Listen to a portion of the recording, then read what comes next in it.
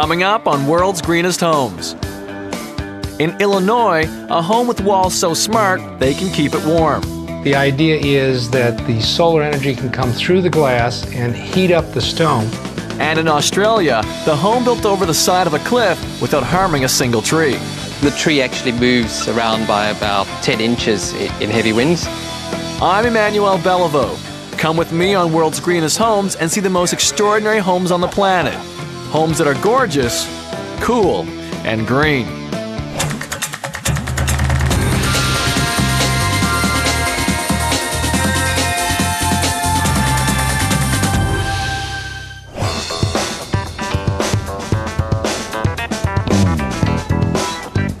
Chicago, gateway to the Midwest, where architecture and style have a long history.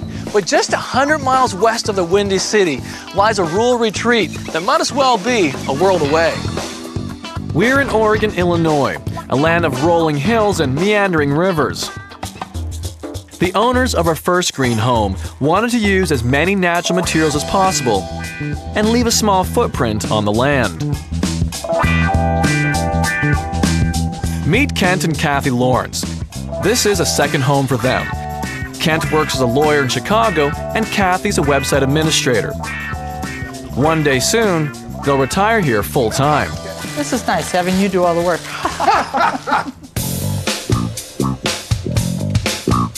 Inside this 2,200 square foot home, there's an open concept living and dining space. With a kitchen tucked under the stairs. Directly above the kitchen is a home office overlooking the living room. Back on the ground floor, along the hallway, is a master bedroom and bathroom. A little further down, there's a guest bathroom and bedroom. They built this arts and crafts style home in keeping with the green philosophy, and they named it Kickapoo after a Native American tribe that once settled on the land. This truly is beautiful. I can't wait to see inside.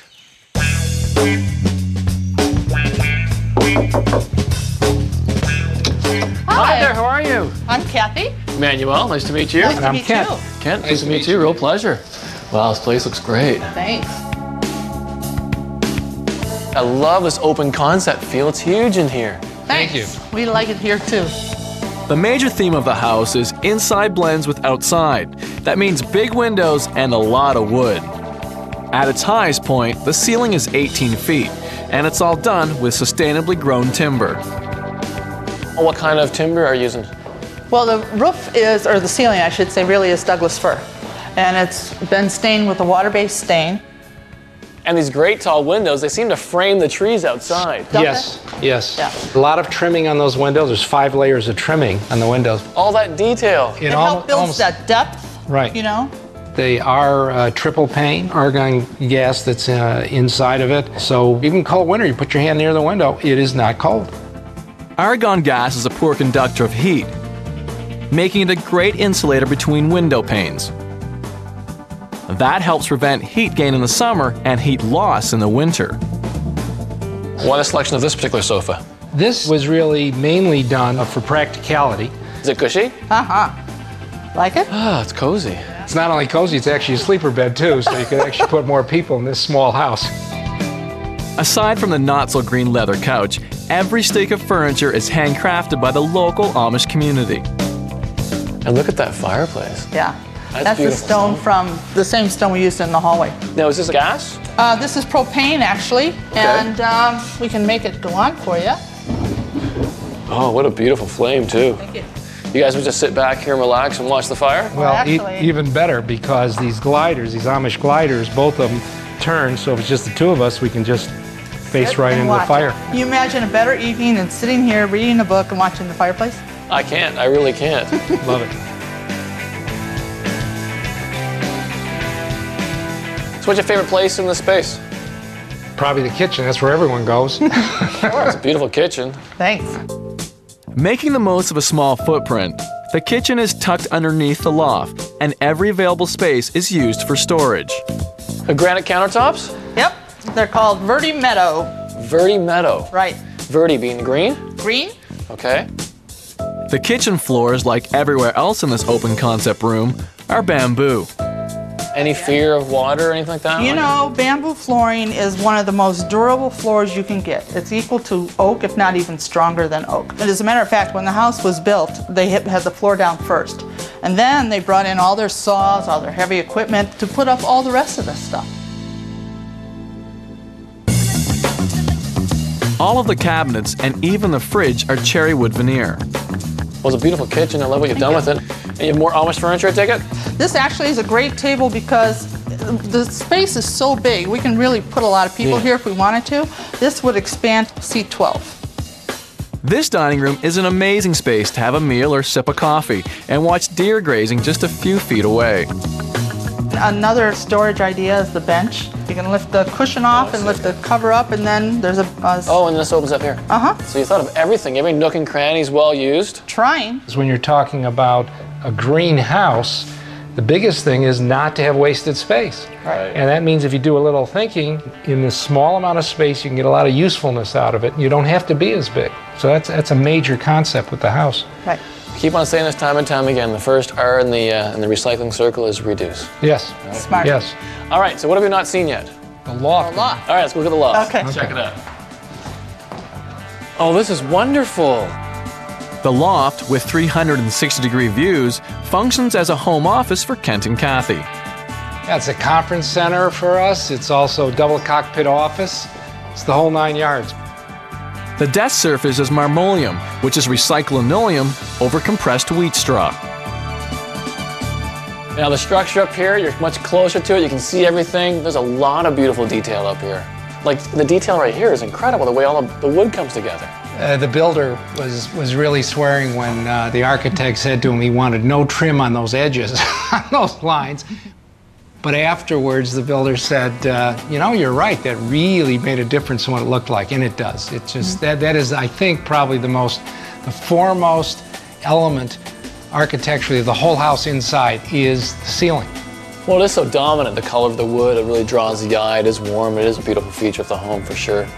Now, being a passively solar home with heat rising being an issue, does it get warm up here?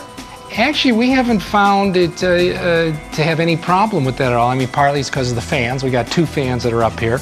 There are also the windows that you can open in terms of venting it out. But I haven't really detected, even on a hot summer day and even in the uh, afternoon, that it's been a problem. Got a fantastic view that must inspire the workload.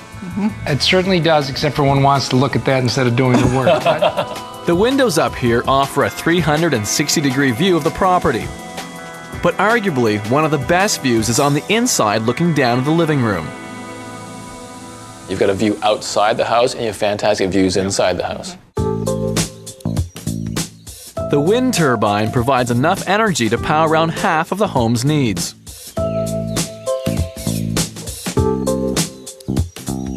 Now, that's not the only thing that they're doing to save on energy costs. Instead of putting these solar panels on the roof, compromising the look of the house, they install them here, 200 yards away. we shift it twice a year. We fairly recently moved it in an upward position more vertically for the summer sun that's more overhead. In the winter, we drop it two or three feet further down to cover the southern horizon sun. So, how do you get the energy to the house? Underneath here, there's a trench cable that puts these two together and goes right to the house.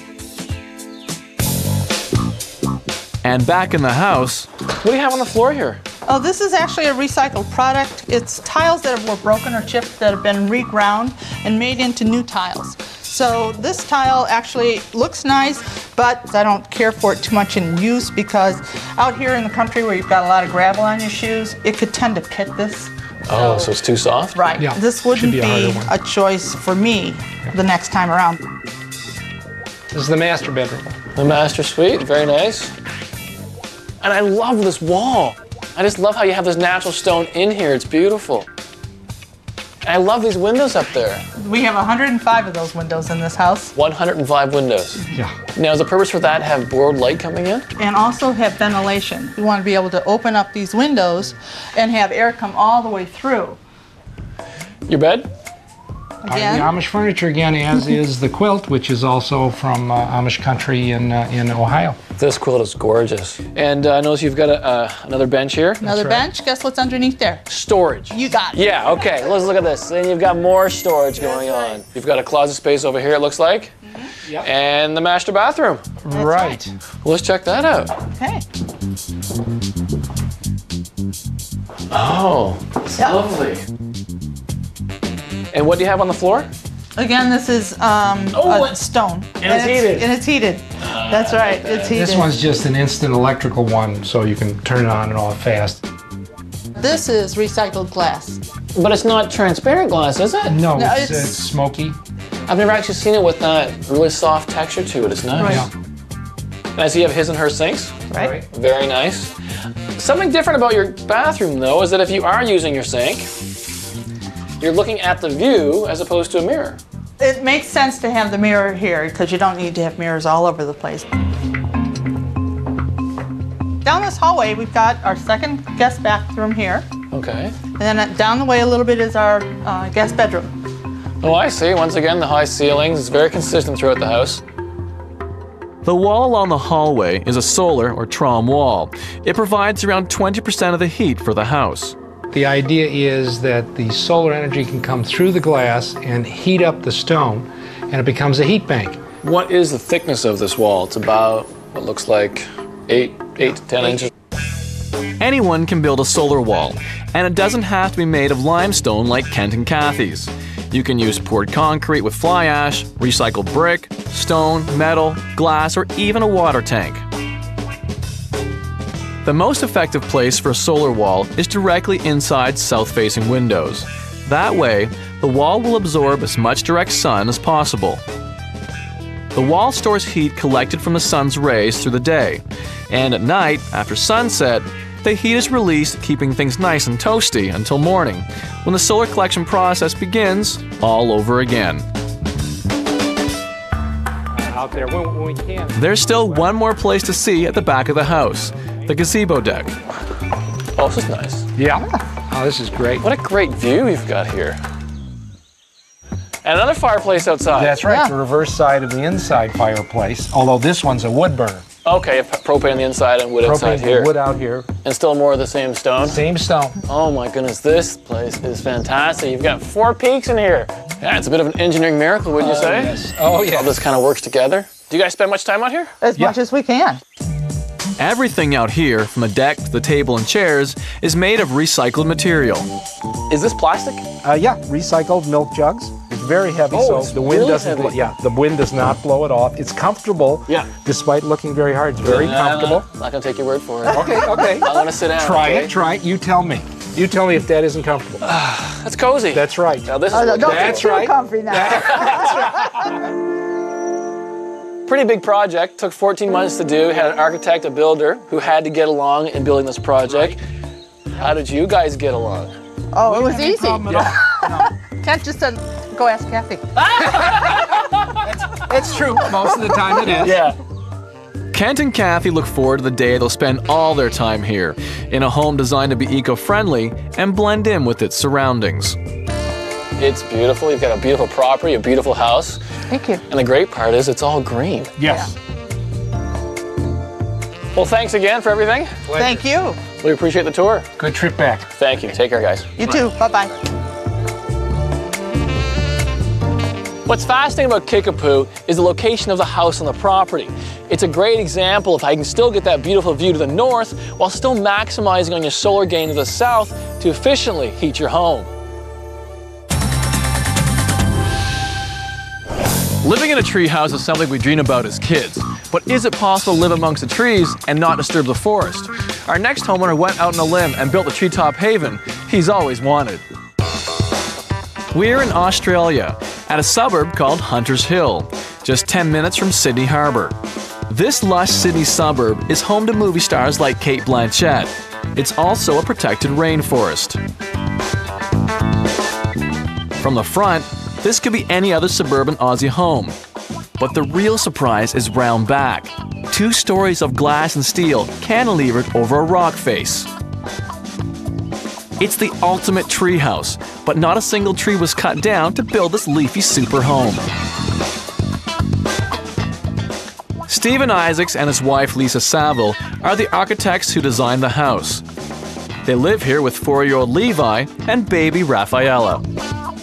When we found the site, we knew that we wanted to, in building on it, disturb the site as little as possible. The entrance hallway leads to a sleek galley kitchen with lots of concealed storage, and there's space for a family room. Next door is the dining and living room, which opens out onto a deck high in the trees. Go down a level, and there's a master bedroom with master bathroom. Along the hallway are the kids' rooms. And finally, a colorful library with its own rock. Welcome to the treehouse. Coming through here, we- have the kitchen. We designed it in a way that we can put away everything and conceal all the mess and the clutter of, of everyday life. The glass splashback slides open and one can conceal the kettle, the toaster, the knives, um, all those things, you know, and if people come over, just quickly shove everything in and close, close the sliding, the sliding panel. And they discovered a bonus. They make brilliant whiteboards, so whenever we've got a message or an appointment or shopping list, it gets written on the splashback. Well, the kitchen design was almost always paramount to me. Um, I love cooking, and the kitchen is where everything happens. I love the way it works. It's easy with a young family. And with the family room as part of the kitchen space, it means they can keep an eye on the kids. But it's next door where you begin to feel you're really up in the treetops. The main living space is a simple, lofty, clean, white space that's dominated by the light that comes flooding in through the windows and the views of the trees, the views of the treetops up above, the tree trunks below. We have a, a large recycled iron barked table, which is extremely heavy, very hard. Uh, and the idea is that it can it can age and, and grow and get a patina of age with us, so we don't mind if the children you know scratch it or scrape it or um, draw on it. We want it to actually age with with the house.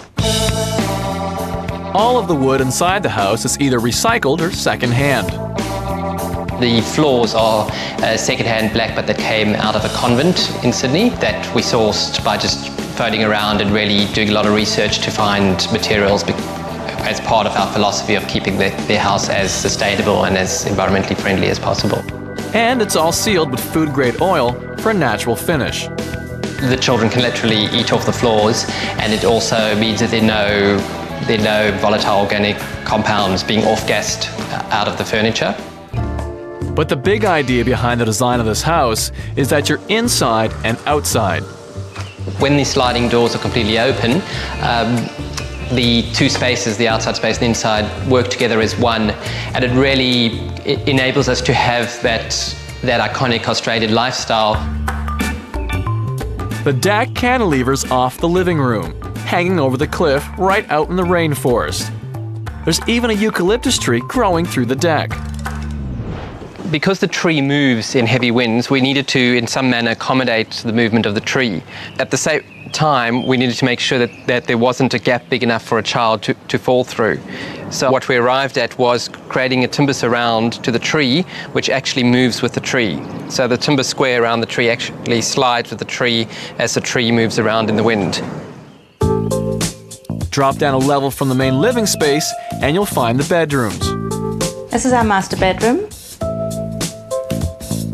Waking up in the morning every day through the seasons of the year, we watch the sunlight on the mangrove swamp um, as it kind of wakes up early morning and spreads across. We watch the birds going across, we watch the kookaburras in the trees. We hear the creaking of the tree. I don't know if that's a curse or a blessing, but it is my personal quiet space here.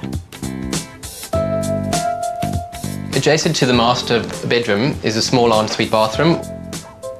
It's kept really simple and understated, so we avoid things like marbles and granites that have to be imported from overseas and have a lot of embodied energy in the transport of them. But here's a bit of familiar technology that was developed in Australia. The toilets are dual flush. Um, what that means is there's, there's a half flush button and a full flush button. Uh, that's an Australian innovation that's been around for decades and conserves water, uh, which is then augmented by us actually using rainwater to flush the toilets.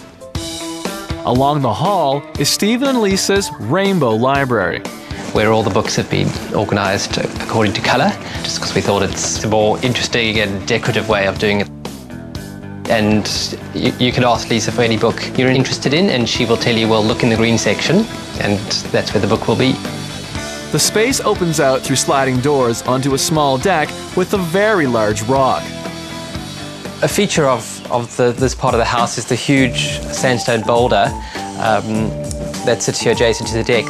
It serves a great benefit in terms of cooling the house because the, the rock is always cool. On really hot summer days, we wet the rock and the air moving over the wet rock gets cooled down and is then drawn into the house. When was the last time you cooled a house with a rock and some rainwater? Bet it's one of the few houses around here without air conditioning.